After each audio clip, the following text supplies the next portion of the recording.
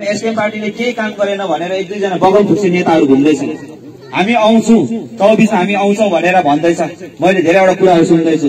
यो किताबमा यो एउटा नेपाली भर्जनमा छ अनि एउटा इङ्ग्लिस भर्जनमा छ। यसमा हाम्रो गभर्मेन्ट आइकन कतिवटा काम गर्यो अनि हाम्रो घोषणा पत्रहरूको बुदाहरूमा लेखेको कति पर्सेन्ट काम भयो त्यो सबै कुरा यहाँ छ। अहिले हामीले लेखेको एक सौ पर्सेन्ट घोषणा पत्रमा लेखेको एक सौ पर्सेन्टको बुदाहरूमा हामीले थर्टी नाइन पर्सेन्ट चाहिँ हामीले काम गरिसकेका छौँ। तर त्यो यथार्थ रूपमा देख्दैन। किनभने त्यो चाहिँ तपाईँको आज होइन अब आउने अब आउने भविष्यको लागि चाहिँ त्यो के भन्छ त्यो कामहरू भइसकेको छ। त्यसले गर्दाखेरि हामीले पर्सनल सहुलियत भन्दा व्यक्तिगत सहुलियत भन्दा हामीले सामूहिक विकासतर्फ हामी जानुपर्छ। जुन चाहिँलाई चाहिँ दिगो विकास भन्छ सस्टेनेबल डेभलपमेन्ट भन्छ। सस्टेनेबल डेभलपमेन्टको इक्जाम्पल उदाहरणमा हाम्रो जब हामीले सरकार गठन गर्यौँ हाम्रो माननीय विधायक हाम्रो क्षेत्र विधायक अ, विष्णुकुमार खतिवडा तपाईँले एमएलए बनाउनु भयो त्यसको बादमा हामीले एउटा सस्टेनेबल डेभलपमेन्टको इक्जाम्पलको रूपमा आज हामीले रिनकमा एउटा सुपर मार्केट ल्याएका छौँ। विशेष धन्यवाद हामी श्रीमान पिएस गोले सम्माननीय मुख्यमन्त्री पिएस गोले र हाम्रो अति आदरणीय हाम्रो माननीय विधायकलाई दिन चाहन्छौँ। सबैले ताली लगाएर उहाँलाई है बधाई दिने म धन्यवाद दिने तपाईँहरूलाई अनुरोध गर्न चाहन्छु।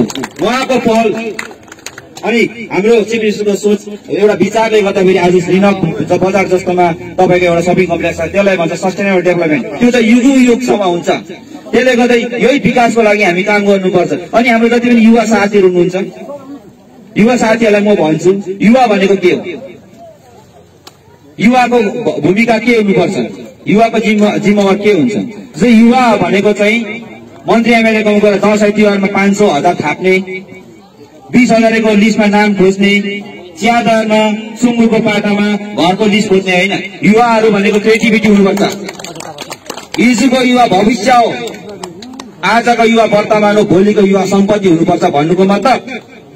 हिजो हामी जतिजना आज यहाँ हाम्रो यो डाइसमा बस्नुहुने अति आदरणीय हाम्रो शिक्षकगणहरू हुनुहुन्छ है? हाम्रो के भन्छ एमएलए साहबहरू हुनुहुन्छ। उहाँहरू हिजोको युवा थियो है?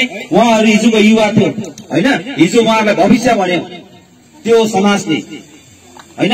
आज उहाँहरू आज उहाँहरूलाई हामी के भन्छ? सम्पत्ति भन्छ। उहाँहरू एसेट हो त्यसले गर्दा युवाहरू चाहिँ हिजोको भविष्य हो भने आजको वर्तमान हो। वर्तमान भनेको चाहिँ के भन्दा युवाहरू चाहिँ शक्ति हो ऊर्जा हो।